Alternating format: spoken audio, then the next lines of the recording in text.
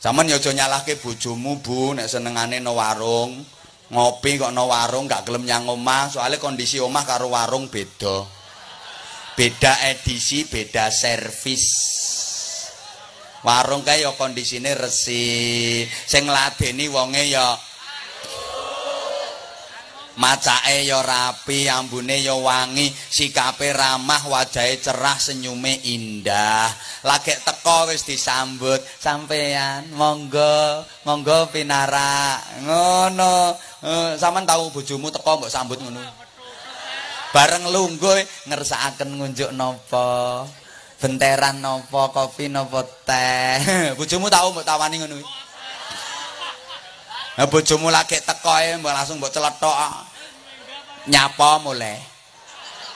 Entuk duit ora? Rantuk duit rasa mlebu omah kono balik engko bengi turu gerdu nang kelon ambek wong lanang esuk-esuk ngomong bu ndek geno kopi. Kopa kopi kopa kopi.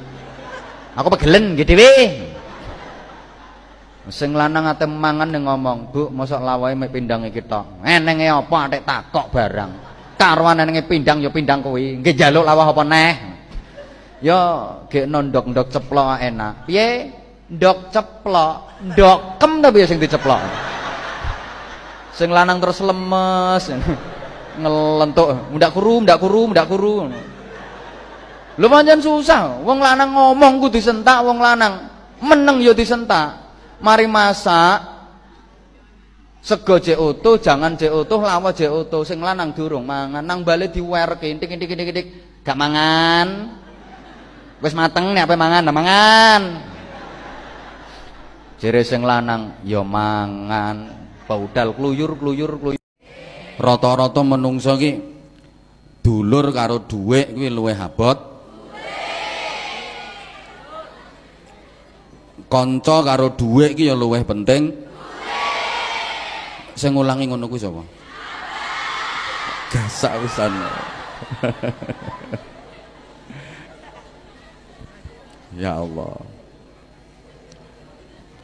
Nah ini pola berpikir yang perlu diluruskan. Jadi salah anak-anak. Yang paling mahal itu nilai persaudaraan dan nilai persahabatan. Dua itu ya penting. Cuma masih jauh lebih penting konco, luwe penting dulur. Ayo saiki sampean. Misale sampean duwite wakeh. Wis pol akeh.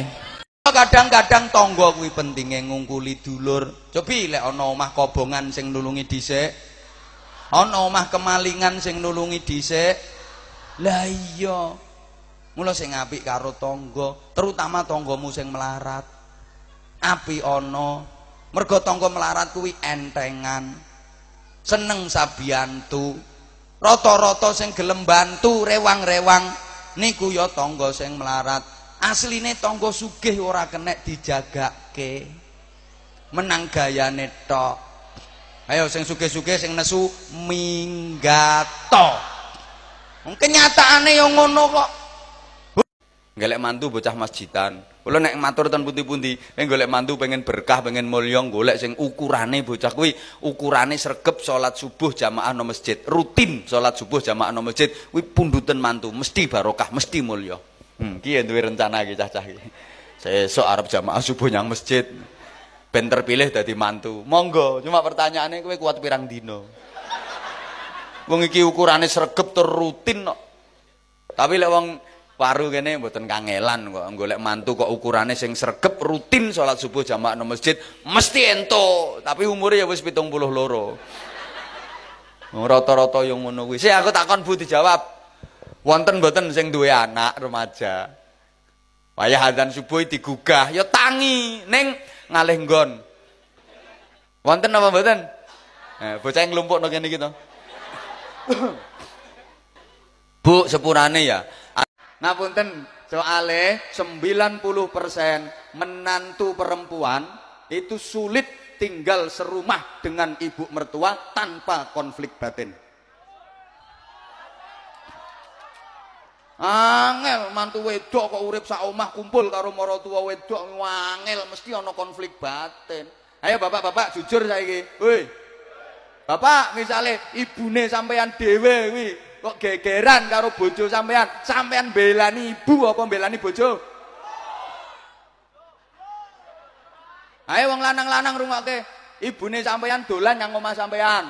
Seneng ngono, kerasan entuk saulan. Lah kok bojone sampean gremeng wae ana gesekan sithik sing diulehke bojone napa ibune?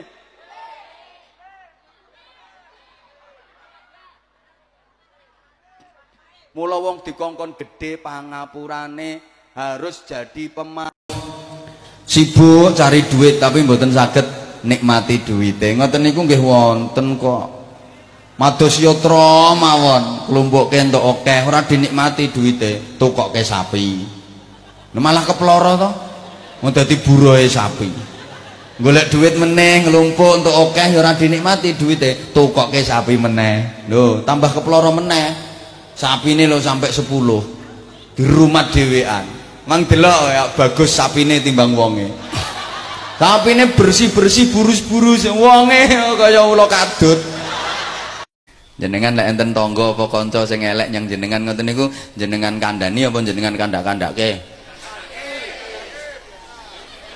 Umpama jenengan kok dilarani ati, atine jenengan dilarani kali tangga ngoten niku lho. Tangga sing nglarani niku jenengan omongi napa jenengan omong-omongke? Lah ngono kuwi nambahi dulur apa nambah satru? Nambah ganjaran apa nambah dosa? Masalahnya rampung apa tambah dawa? Eh, ning atimu lega to? Heeh, wong balane iblis. Lega. Embian lek ngandake ngono ya mara tangga karo petan. Nah saiki lewat HP, status di-share, status di-share wong sak donya hati kabeh. Nah sing nglarake ati kok nang ngarepe langsung update status demi liwat.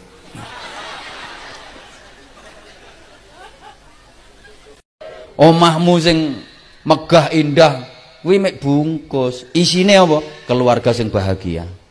Napa artine omahmu apik kaya istana, tapi isine keluarga sing gegeran, pecoan, tukaran. Itu bukan rumah, kandang.